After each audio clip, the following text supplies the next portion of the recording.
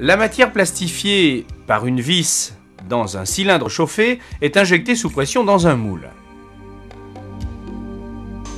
Au contact du métal froid, elle se solidifie et conserve les formes de l'empreinte.